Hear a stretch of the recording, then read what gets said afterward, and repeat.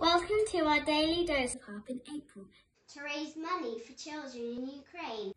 Please check The description below. To find the link to our crowdfunder. donate. Thank you, Anne. enjoy.